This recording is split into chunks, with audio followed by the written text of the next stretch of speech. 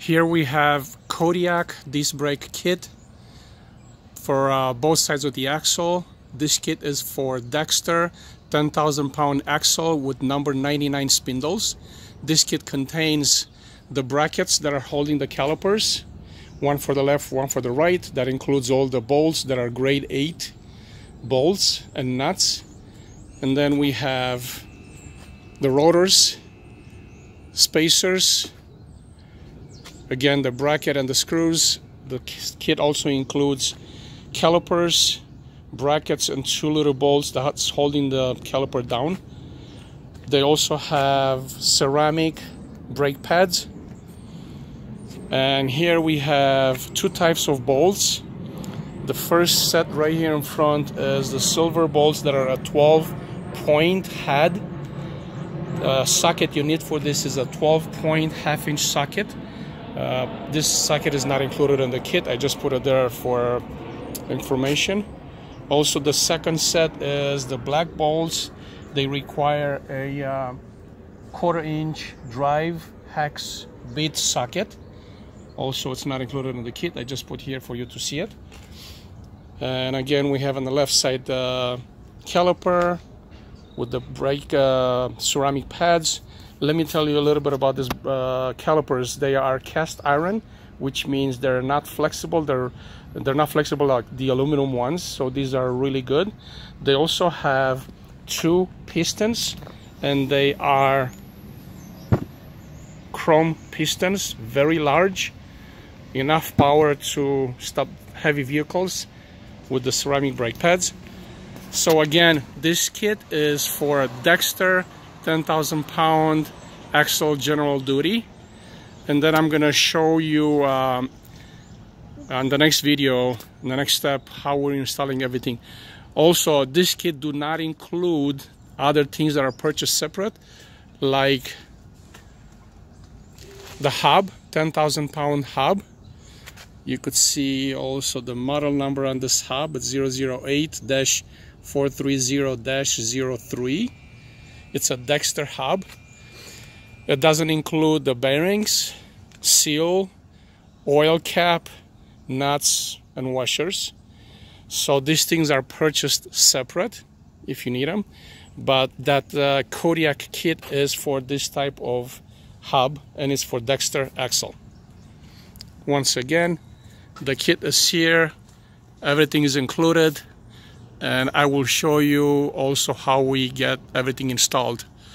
Also, the silver bolts are uh, being installed for the spacer to the hub and the black bolts are being installed on the rotor to the spacer. So this is the kit and then I'll show you how we get it installed. Now I'm going to show you how we're going to remove the wheels and the electric brakes from a uh, three car trailer which is very popular in the car uh, hauler industry. This is a Kaufman trailer with two axle, 10,000 pounds each, Dexter axles. So I'm going to show you the removal of the existing brakes so we could replace them with these brakes. I'm going to be using a floor jack. It's a four ton floor jack that I'm going to be putting under the trailer on a section that is very strong and is recommended for lifting. This is the spot that I chose to lift the trailer. It's a, a cross beam right uh, behind the rear axle.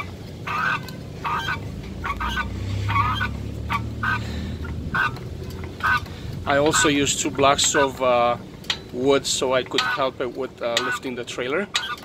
And I'm gonna be lifting the trailer until uh, both axles and sets of uh, wheels and the axles are gonna lift off the ground about half inch to one inch.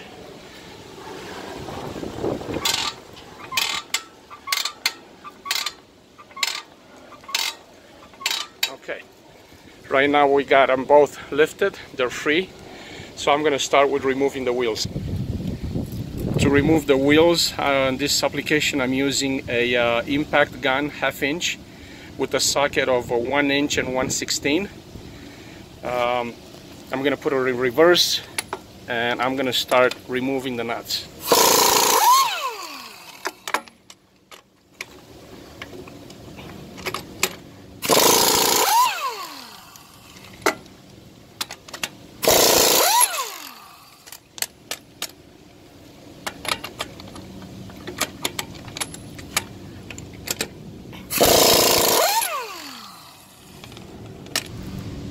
After removing the nuts, all the nuts, then I have to remove the flange. That it's a flange that is in between the nuts and the rims. After removing the wheels, this is how the hub and drum looks like. Now we have to remove the plastic cap, which is the oil cap. So what I'm gonna be doing, I'm gonna put this lever right here to start, uh, to have the drum uh, to stop it from turning. Then I'm gonna be using a wrench to remove the oil cap.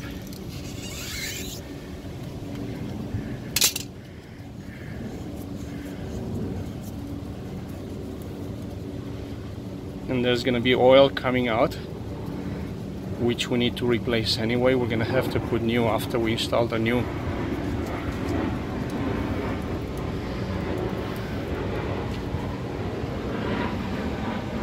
and this is how it looks nuts, the washers, the lock washers.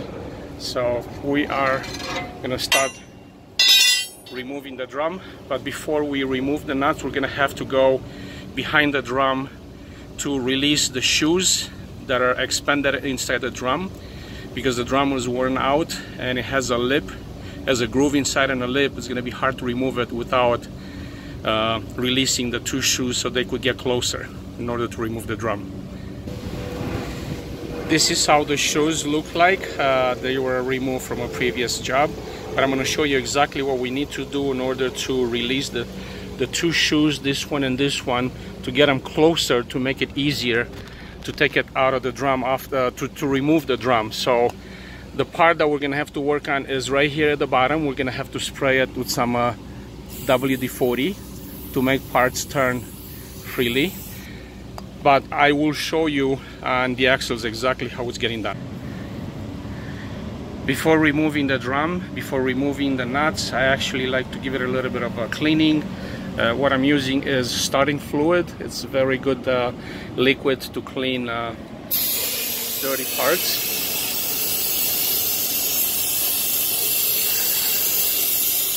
This way the tools are gonna stay cleaner. As you see, the grease and the oil gets removed. Not just that, but once you finish spraying, all the parts are gonna dry up because this uh, fluid dries up really fast. Before going under the trailer to uh, release the shoes and before going under the trailer, make sure you install a uh, floor stand under a really strong beam to hold the trailer just in case the power jack uh, fails and starts going down, you want to work safe under the trailer. So make sure you put one of those strong floor stands. This is how the back of the the drum and the brake system looks like. Basically, we're gonna have to work right here. We're gonna have to use a screwdriver to uh, release the shoes so the shoes gets closer to make the drum come out easier. Now uh, we're gonna use uh, WD-40 to spray some of it inside to make the parts turn better.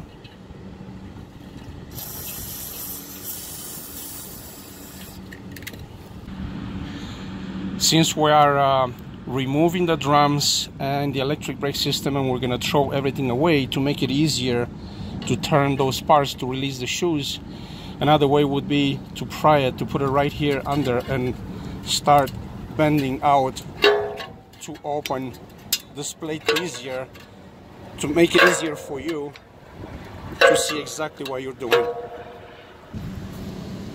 This is how uh, the parts look like inside after I bent the metal on the inside. So there is that uh, disc in the middle that has ridges on the edges. So we're gonna have to turn that uh, putting the screwdriver at the bottom of the ridges, the bottom of the disc, to push it from the bottom towards the inside in order for that piece to uh, tread on that bolt to release the shoes, the one on the left and then the one on the right. Okay, so now I'm going to show you how we're going to remove the drum. And in order to remove the drum, we need to reach this area here to twist it in order to release the shoes. So the shoes get closer to give space between the shoes and the drum to be able to remove the drum. So first, you know, using a hammer and a screwdriver, we bend this part of the metal inside because we're throwing the whole system away anyway. We're not trying to save it because it makes it easier to work with a bigger space instead of work through these two little holes. So after bending this in, you want to spray WD-40 on all these parts to make it easier to twist and turn. Okay, and then as you see here, we need to turn this uh, uh, disc that has uh, ridges on the uh, on the outside so basically we need to turn this from the bottom inside this way in order to get the bolt to get smaller for the shoes to get closer. But because there's a part in the back that is holding this locked, we need to push it in with one of the screwdrivers. There's two sections here. One is thicker, one is thinner. The piece that it's locking into the ridges of the disc it's on the thicker side. So what you want to do is you want to put the screwdriver right here above, push it in, and after you push in, you use another screwdriver. So we're going to use one to push in, and the other one to turn. So let's use this one. It's pushed in, and now we need to turn this down like this.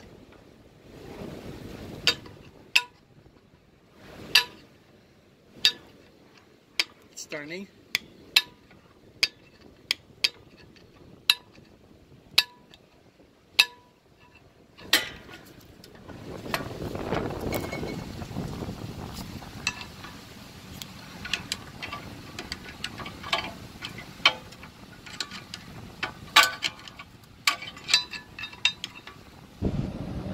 As you see here after I uh, twisted that center piece with the ridges enough you could see the gap between the drum and the shoes on both sides. So now it's gonna right here now it's gonna make the drum very easy to come out.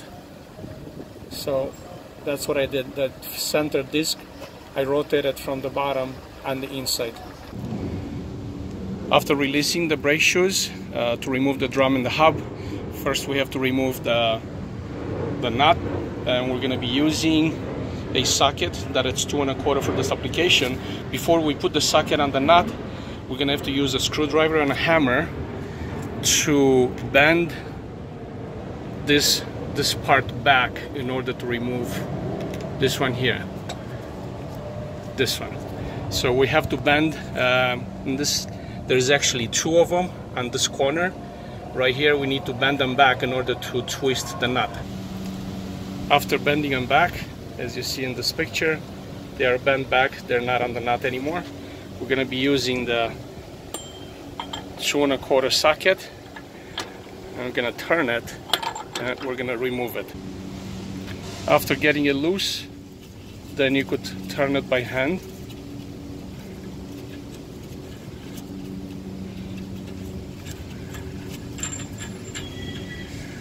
and then you remove the retainer the lock retainer. You could use a screwdriver to release it. Okay. Put it in a section on a clean piece of carpet and then we're going to remove the second nut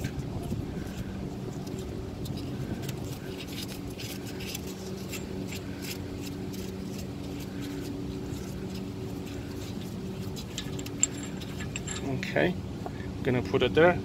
And then after that we're gonna remove a washer.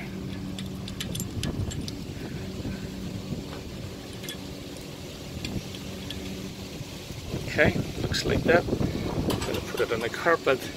And then we're gonna pull from here on the hub in order to first we could we could remove this uh, bearing and then we're gonna grab the hub from here to remove it.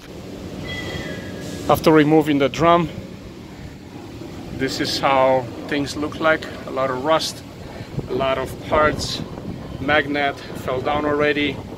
Everything is dirty rusty. We're gonna uh, use some sockets to remove the whole assembly. After removing the drum I noticed that the inside bearing it's still on the axle and also the seal. This is the inside bearing. This is the seal right here. So I'm gonna use screwdriver to pry it out. It comes out easy. Slide it down put it on a clean piece of carpet. And then we have the seal that we need to remove. So I'm gonna pry it with a screwdriver.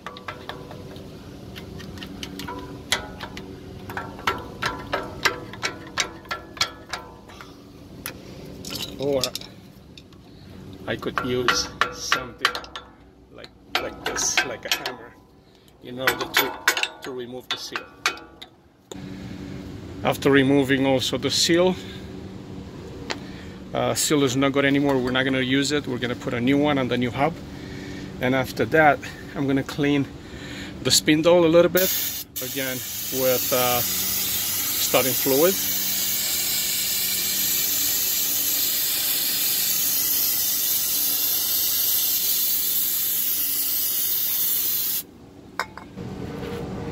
To remove the whole assembly. We need to remove seven bolts that are situated right here on this plate on the back plate. By using uh, for the head we're going to be using a 5 8 socket. And for the back for the nuts we're going to be using uh, wrench 11 16 so we're going to use the wrench to put it in the back with the assembly right here. We're gonna hold it and then gonna we we're gonna use the gun to put it on this bolt here. And we're gonna we're gonna hold the wrench by twisting the head with the gun. After removing the bolts uh, you could see that the assembly is still stuck because of the rust so you take a hammer and you pound it a little bit in the back to turn it loose.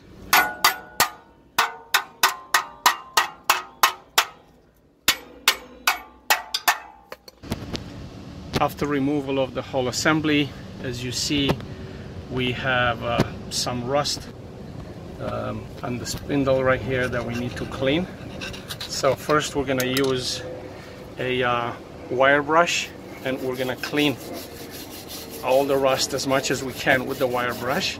Also this plate here on the back we need to clean it. After cleaning it with the wire brush everywhere uh, we need to check the back of the plate because the bracket for the disc brakes have to be installed behind this plate right here. So we need to check to make sure that uh, it's all flat and clean. So looking in the back, I already noticed some welding spatter, which is right here in the back. We have this bump here from the welding plus another piece of metal right here that we need to grind. So we're gonna check all the way around because the surface or the uh, plate in the back right here has to be really smooth in order for this flange this bracket because this is also smooth has to be installed on the back of the flange. So to clean the back of the flange in order to eliminate the weldings we also have even a, a bump right here. You could see it. We need to grind that. We need to grind these. So to do that I'm going to be using a grinder with an abrasive disc of 60 grit so I'm gonna turn it and then I'm gonna grind all the sections here as you see I uh, used uh, first of all to eliminate those bumps in the back I did uh, grinding there uh, even the bump that was on the, the axle right here. So you check all the way around. You do a little bit of a fine grinding in the back just to make sure that the back is smooth, just as smooth as this bracket surface. Also, I used the grinder to clean more of the rust as part of this uh, axle, the spindle. I used the grinder a little bit here to make it smooth. Uh, I cleaned everything. Uh, the section here is for the seal. Do not use the grinder on this section. If you want to clean this, if you have a little bit of rust on this, then you need to use sandpaper manually. It looks like this, okay? I have it for, from a spool. So basically the sandpaper is 180 grit. Uh, you don't want anything rougher than that, so you put it, you put it over the spindle and the section of the seal and you keep twisting it.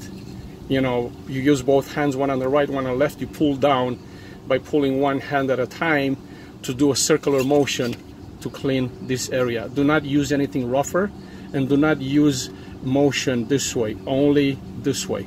You know, you, you keep sanding it that way.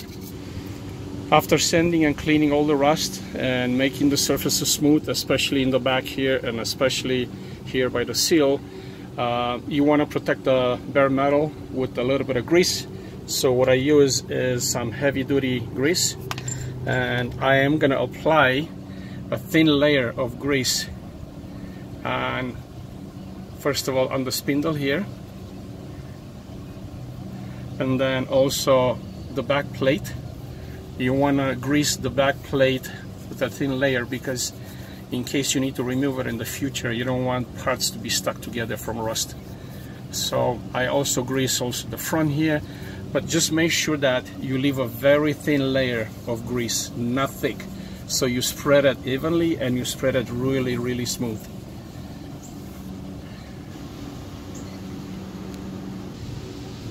the next step is to install the caliper flange the caliper bracket over the flange this flange in the back of the flange. Um, by the way this is spindle number 99 from Dexter. It's a Dexter axle. So we're gonna we're gonna take the bracket we're gonna put it behind the flange and then we're gonna use two inch grade 8 bolts they're really high quality high strength. You insert them from the front. It's hard to do it with one hand. After putting the caliper bracket in the back of the flange by putting the 2 inch grade 8 bolts from the front and then the nuts that are also grade 8 so you put the four top bolts then you put the second half of the bracket and then you put another three bolts. You see them here. After you do that and you tighten the nuts uh, on the bolts by hand. Then you put the two bolts one on the right one on the left to connect the two pieces of the bracket together by using a uh, again a bolt that is uh, this time two and a half inch long. And uh, all these bolts are 716 uh, with a thread of 14 coarse thread. Make sure you use grade 8 bolts. So after you do that you tighten everything by hand and then after you make sure you give it a little bit of a shake to make sure that it's all in place and that, that these two pieces are together. First you tighten the seven bolts that are on the flange and once you're done with that then you're gonna tighten the other two bolts that are one on each side by using uh, five and a half fixed wrench for the front. You put it here you hold the front and then you use in the back a uh, 11 16 wrench that has got a ratchet.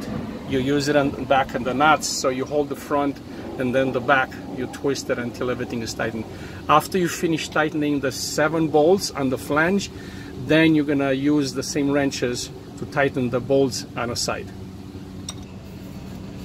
so after installing the bracket uh, tighten everything one by one you you cannot tighten just one all the way just a little bit a, a little bit on this one a little bit on that one a little bit on this one so you keep going across until everything is tightened um, really good also these ones a little bit here, a little bit there. You finish uh, tightening all the bolts.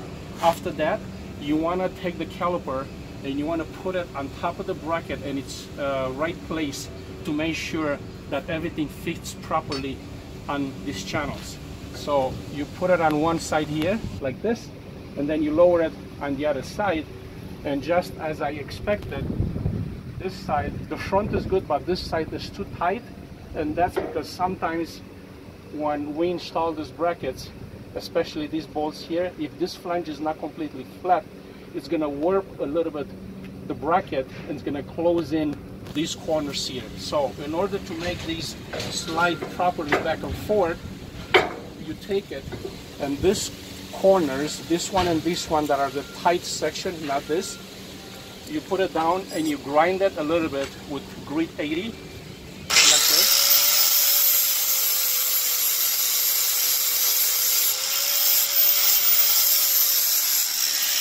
and then you turn it around and you do the same thing here.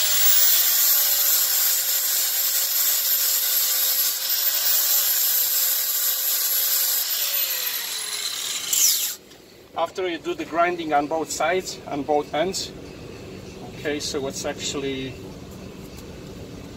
this corner and this corner here.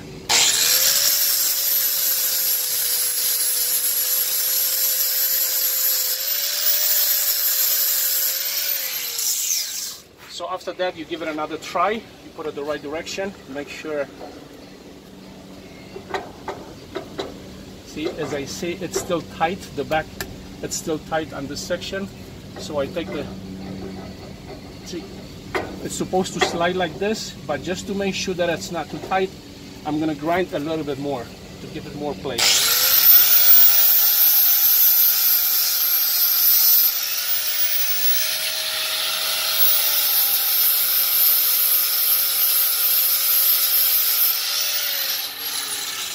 So we try it again. You put it down, and you see, it slides really good, nice and smooth. You slide it back and forth, and then you take it out, and we're gonna prepare the rest of the stuff to install the drum, and I will show you the process step by step. Okay, the next step is to assemble the hub with the spacer and uh, the disc, the rotor. This rotor is also built for uh, ABS sensors. This is the rotor. This is the hub, 10,000 pound hub, and this is the spacer that goes in between. So what I would like to do first, before installing the spacer here, you know, throw a little bit of uh, grease, just a, just very light grease over the surface where the hub and the spacer is touching. This way it's going to make it easy for the removal in the future and rust is not going to keep the parts stuck. So once this is done, I am going to be putting the spacer over and the bolts that we're using to put these two together are the silver bolts that are provided in the kit. It's a 12 point head. Also, I like to use a little bit of grease on this section here. So what we do is we put it over like this. Again, it makes it easier to remove. So just this section here, this one I don't touch it because that has a lock paste to keep it from twisting. So as you see, just a little bit of grease, enough to make it easy, easier to remove in the future.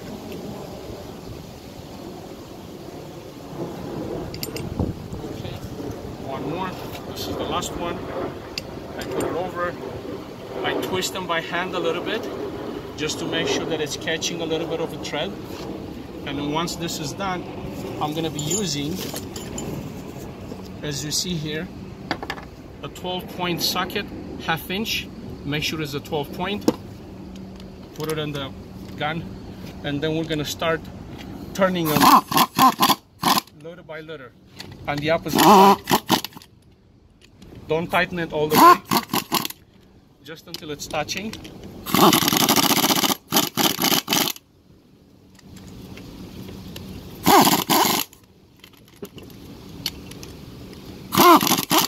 So always use the opposite. Okay, after everything is down, then you could take one by one and tighten it.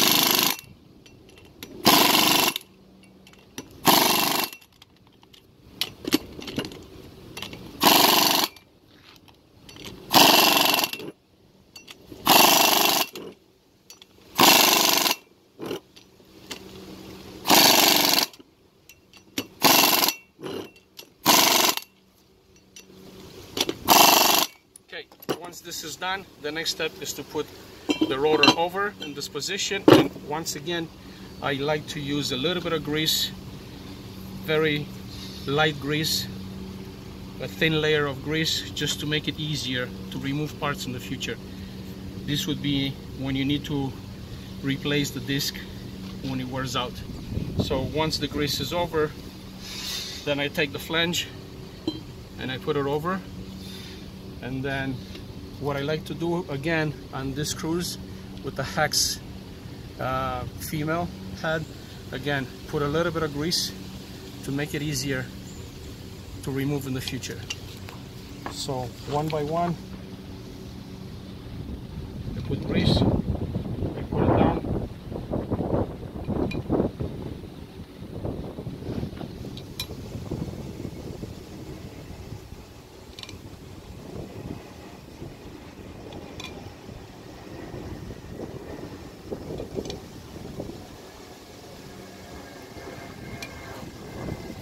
Okay, now we're going to be using a different socket.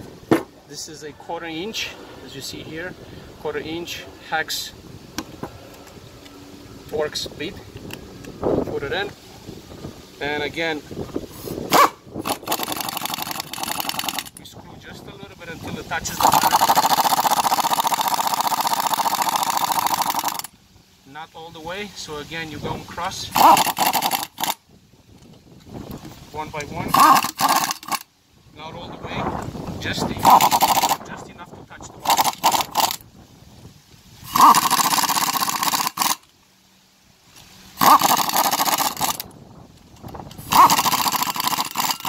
So now we could tighten them all. And in this situation I like to go the opposite again.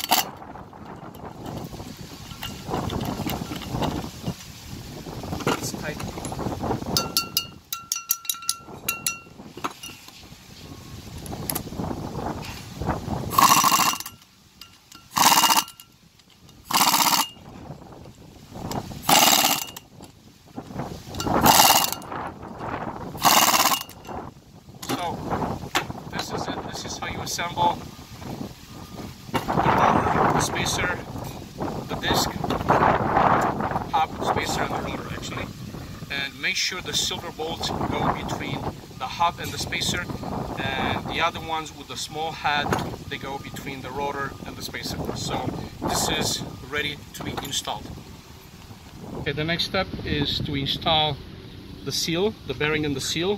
We have two bearings. This one is inside bearing which is the one that goes inside here on the inside of the, the wheel inside of the axle this bearing is a uh, Timken top quality company uh, model 387A the outside bearing is 25580 but right now we're going to work with the inside bearing.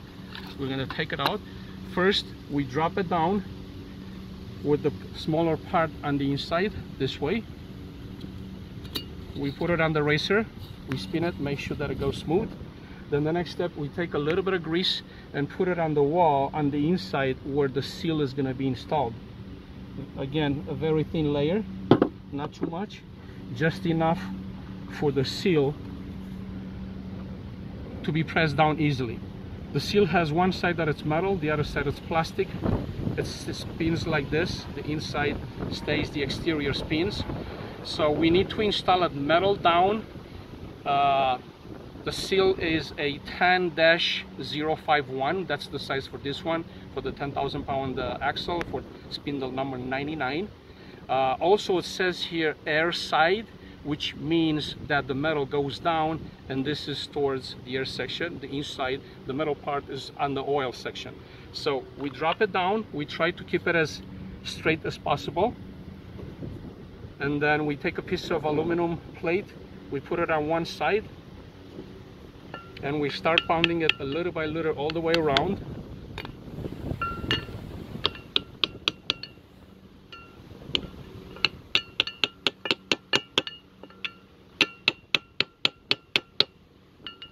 we gotta keep pounding it at the highest spots just so it goes down pretty much flat and straight. Okay and then you could also help yourself by putting an extension and you start pounding little by little. You don't want to push one side too much down. You want to do it little by little. And you want to use soft metal like aluminum when you pound it down. And you have to pound it until the part of the rubber on the seal is going to be flush to the to the hub. You don't want to pound it lower more than that. Okay, you take the parts out and then you use your finger all the way around to see that things are flush. Once it's flush, this is ready to be installed. This is how it looks like. So this has to be flush. Rubber and metal all the same level. Do not push it down too much. So this is ready to be installed. Step is to install the whole assembly over the spindle with the bearings just so uh, from the previous uh, instructions the inside bearing is already installed. The seal is already installed. So what I do to make it easier to push everything inside, I put a little bit of grease on the section or the seal that's going to be pressed in. Again, to make it easier to slide in. And then also a little bit of grease where the bearing, the inside bearing is going to be sitting. Again, same reason. Do not put too much grease, just very thin layer of grease. Another one is going to be over the section of the outside bearing, which sits right here okay. And now we're ready to install the whole assembly. So first we put this assembly first. Like this. Try to keep it straight.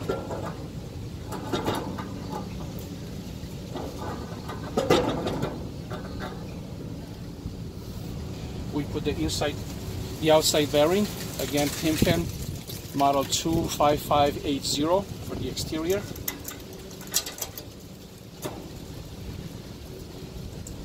put the washer first. We put one of the nuts. And then we use the two and a quarter socket and we start spinning to press the whole assembly inside.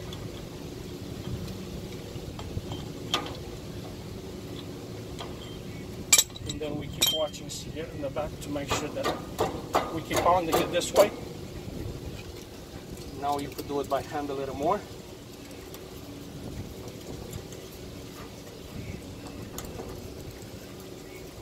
This is the section, the, the section that where the seal gets installed in the back.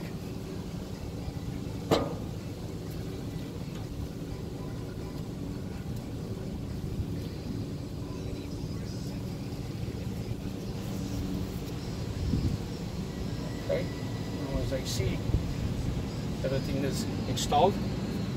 we keep spinning it. We twist it a little bit. You want to make sure that it spins without being under like a brake. So now we put this washer with the bends in. We try to see if they match what we had before. And as a matter of fact they did match. Okay. Now we're to put the exterior nut.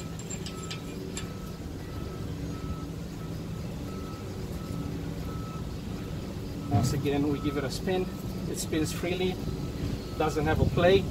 It's all solid. And the next step is to install the caliper and the brake shoes. Next step is to install the caliper and the brake shoes. Before we do that, you want to put a little bit of grease on these tracks here for the caliper to slide easier a little bit on each side one on this side one on the other side again not too much then you also you want to put a little bit of grease on this side of these brackets that get installed here Same reason you want the caliper to slide smooth and not get stuck during the operation. So we do both plates. Only put the grease on the side where the caliper slides. After that, you put the inside pad, which is smaller than the exterior. You put it on the inside right here. It's got the right grooves. You go against the, the rotor. Then the next step is to install the caliper, but you also want to put a little bit of grease where we did the grinding earlier for sliding. Also to prevent it from getting rusted. Okay, so once we have the grease on, the next step is to put this other bracket. So we install it by hand until it goes on its place like this. You hold it with one hand, you go over, and then once you put it down, as you see, it's gonna have a little bit of a play back and forth. You wanna push this all the way towards the inside so this thing touches here we put the two plates see this is where we have the grease here. So the caliper when it does this move it slides on this plate. Kit comes with the bolts. So you put one bolt here. We put the other bracket on the other side. We put the bolt here. And then we're going to be using a 916 ratchet wrench to tighten the bolts.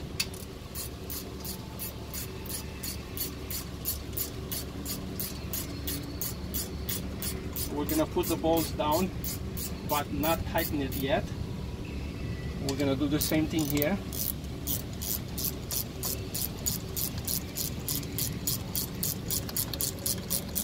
And before we tighten these bolts all the way, you need to make sure that, again, the caliper is pushed in all the way and also see this bracket has an hole you want to make sure that it's centered so you push this you center the plate and then you tighten the bolt while you hold on the plate. So this side is done. Again push it center the plate.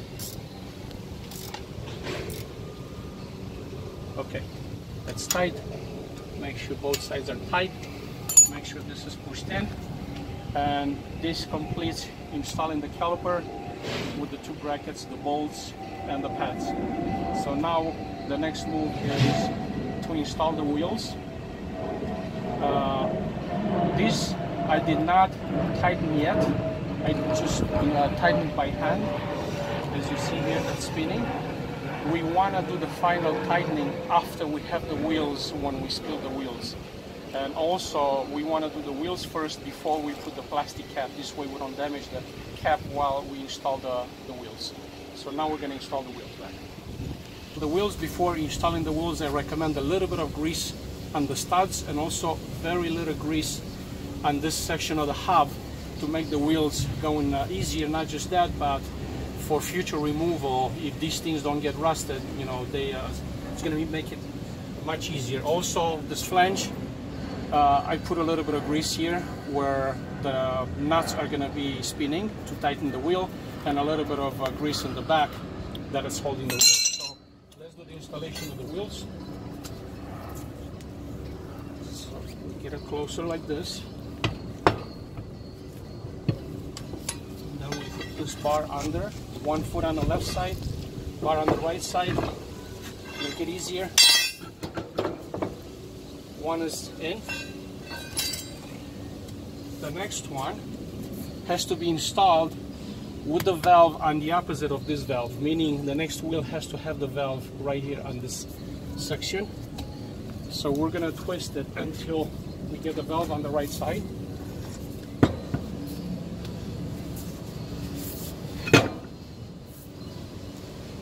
Okay, and we're gonna follow the studs It's almost ready. Again, put your foot on the left side to it. Use the bar on the right side.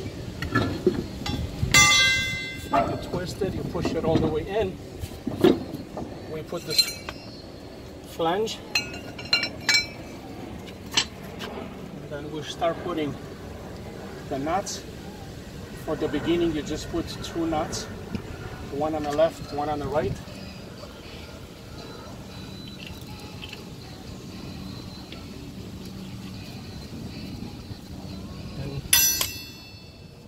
The gun to get these two, two closer. Okay. Spin it a little bit, make sure that the valves are on both sides. Now we put the rest of the nuts.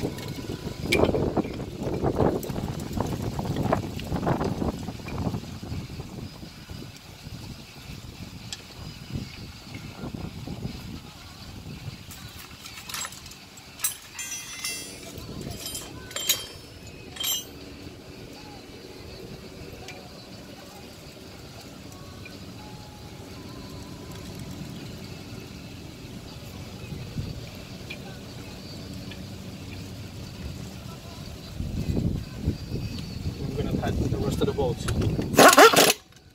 Just a little bit, not too much.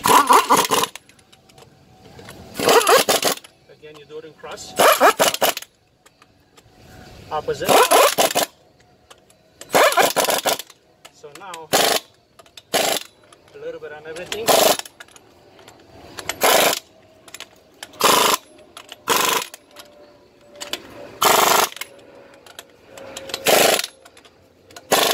Now you're gonna do it all the way.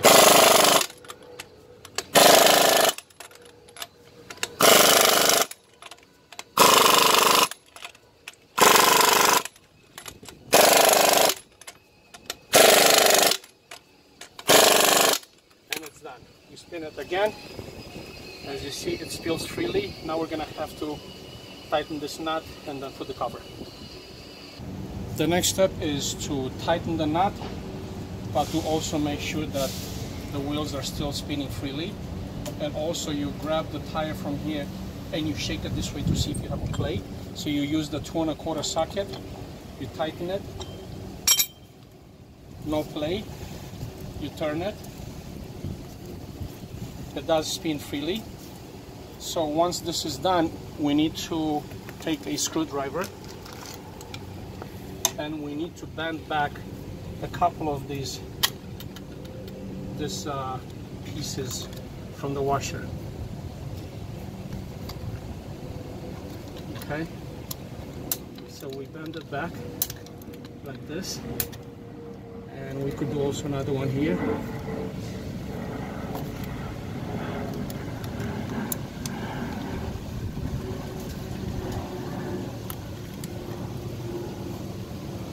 Okay you also want to take a hammer and hit it all the way until it touches the nut.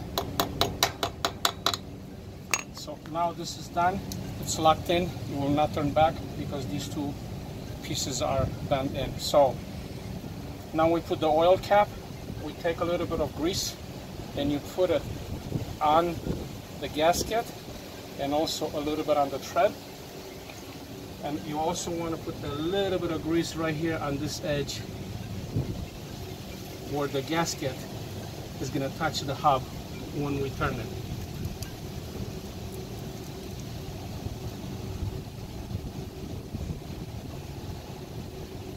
Okay, when this is done, we twist this back in